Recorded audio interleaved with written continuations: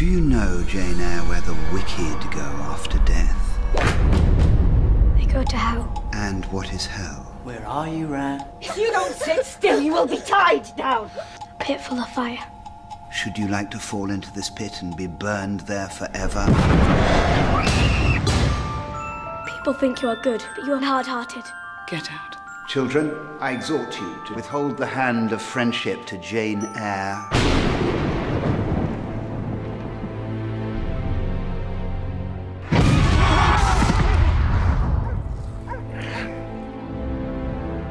This is a grand old house, but it can feel a little dreary. Mr. Rochester's visits are always unexpected.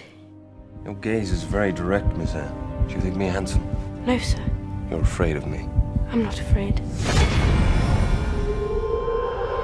I was not asleep. I know what I saw. It must have been half dream, half reality.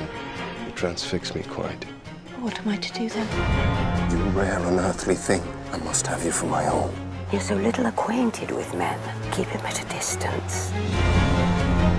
Miss Ingram's coming. She's a great favourite of his.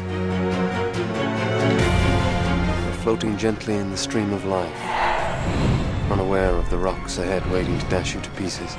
Do you think that because I am poor, obscure, plain and little, that I am soulless and heartless?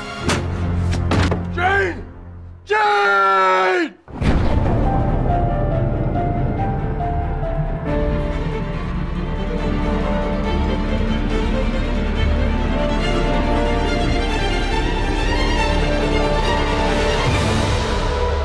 Seems unreal. You, sir, are most phantom-like of all. Jane.